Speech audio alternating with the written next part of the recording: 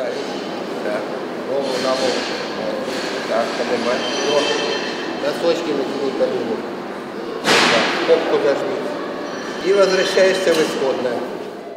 Стрибки на батуті, гімнастичні вправи на матах. Так тренуються діти віком від 6 до 11 років у відділенні фристайлу, відкритого на базі Миколаївської обласної комунальної комплексної дитячо-юнацької спортивної школи, яка розташована за адресою Лазурна 18В.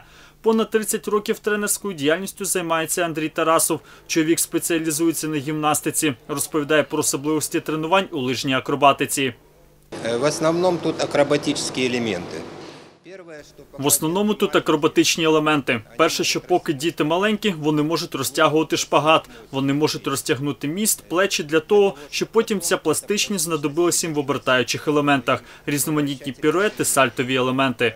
Також елементи на координацію, щоб у них не було запаморочень від перекидів, а щоб вони робили багато каскад перекидів, і у них вестибулярний апарат працював добре. Групи з фристайлу почали набирати з вересня минулого року. Андрій Тарасов пояснює, чому приймають до цього виду спорту дітей. возраст от 6 до Вік від 6 до 11 такий великий, оскільки до цього була велика перерва у фристайлі, і цей вид був трохи занедбаний. Ось зараз ми відкрилися. Ми буквально місяць намагалися активізувати людей. Вони не могли зрозуміти, де як знову відновили. Люди телефонували, просили. Загалом ажіотаж великий. Загалом відвідують заняття з фристайлу майже 50 дітей. Серед них 11-річня Дар'я Токар розповідає про те, як зацікавилась цим видом спорту. Я бачила в інтернеті відео, там, де ну е, я не знаю, ну, ну це давно було відео, і там чоловік він е, ну, на горці з'їжджав так з лижі в воду. Там різні, різні ці е, ну, кувырки робив там.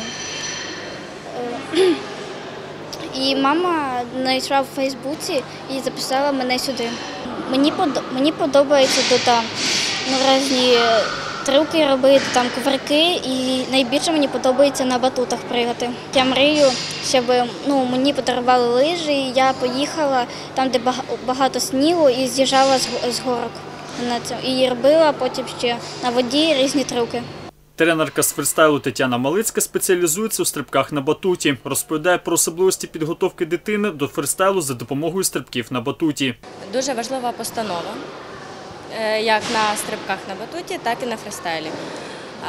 На мою думку, також е, важливі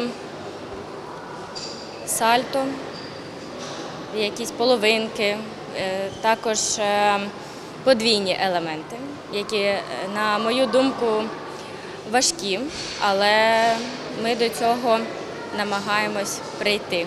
На даному етапі, оскільки діти ще малі, їм дуже подобається стрибати на батуті.